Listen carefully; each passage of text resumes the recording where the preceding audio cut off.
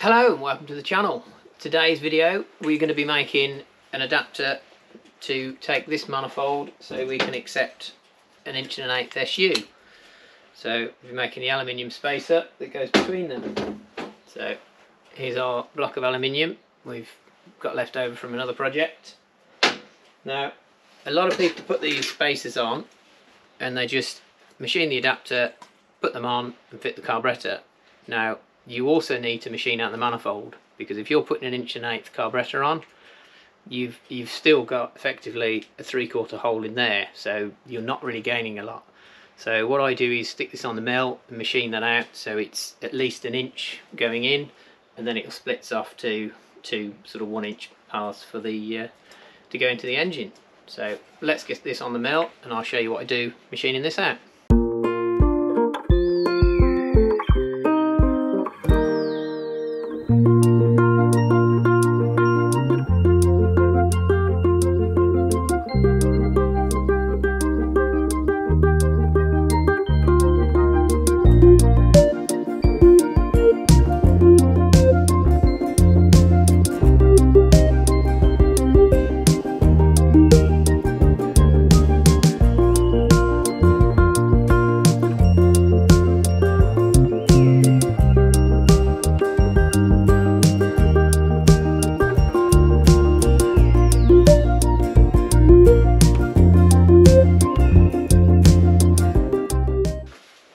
you've just seen me in the vise with the die grinder.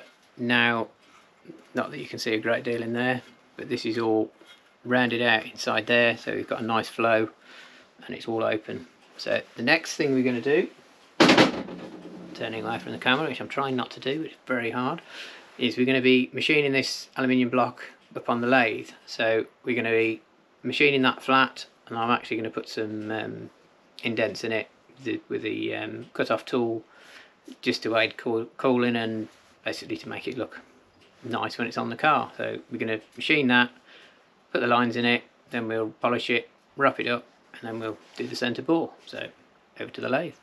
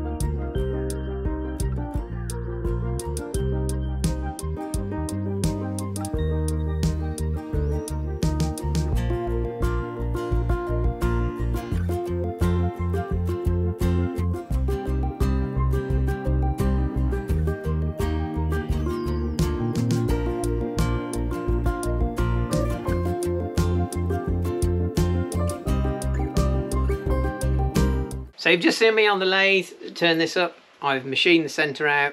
We've we've done that at a taper, so it's inch and an eighth that side and an inch that side.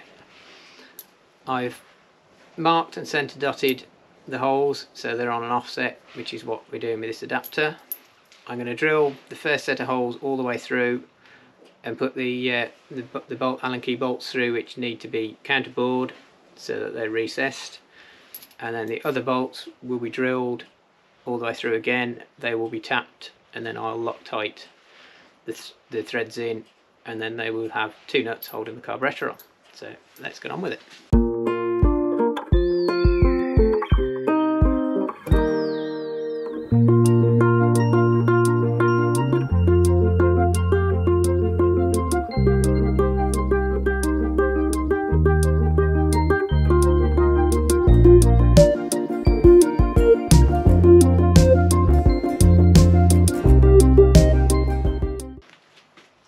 so this is the finished adapter. As you can see it's well you probably can't see on the camera because it is that slight I think it's about two degree angle on the center of this to get it from the one inch to the inch and an eighth. So the holes have been tapped. These threads have been inserted with stud lock on so they shouldn't come out so you can bolt the carburetor on quite easily I've done a little relief cut there with the mill and that just takes up turning away from the camera again that just takes up this screw here. So when it's on full throttle it does actually enable it to. So as you can see it just goes inside that little bit of a recess there. So enables you to get full travel on the throttle. So so that's that side. And then when when the allen key bolts are in. You can see they're nice and flush. So it just fits on nicely. And here is the manifold. So that's bored out now. So that's one inch profile that's bored right down inside. We've die grinded the uh, or die ground the uh, the edges off. So it's nice and smooth going in there. The one thing you need to remember to do on these manifolds as well as boring them out you need to make sure the faces are flat. And the same for the carburettor so this I just do on a surface plate which is just a piece of sandpaper basically glued to a board that I run on the bench so I know it's flat. Uh, the back has been machined off and I've also surfaced that. I've surfaced the exhaust manifold as well. And then I haven't done this one too much. I've left it so that you can just see when I've put this on the surface plate you can see it's where it's been ground around the edge and there's a there's a, a low spot there.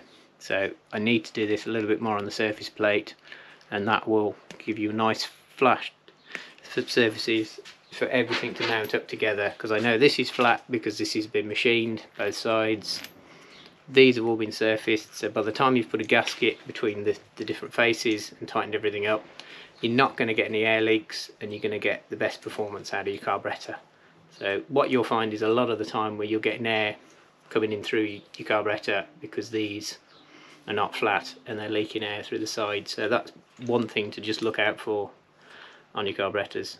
So there we go. So here we go.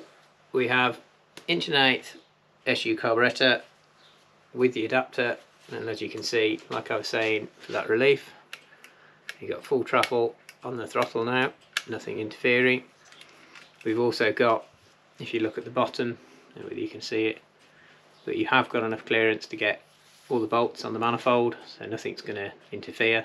I know on my other car, that's got an inch and a quarter carburetor on it with a bigger um, carburetor adapter on it, and I did actually have to machine part of the bottom away to get it to work, but it, it all works pretty good.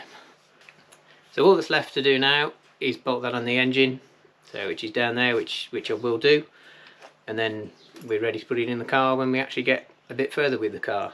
So hope you enjoyed the video. Hope you've learnt something. If you have please like the video. Uh, don't forget to subscribe too and catch you on the next one. Thanks for watching